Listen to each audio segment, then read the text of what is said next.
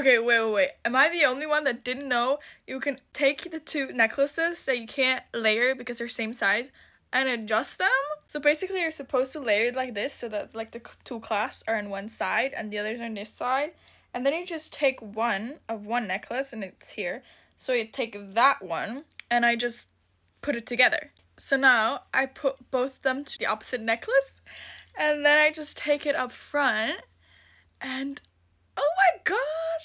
you can like actually, it works. You can adjust it. That's so cool.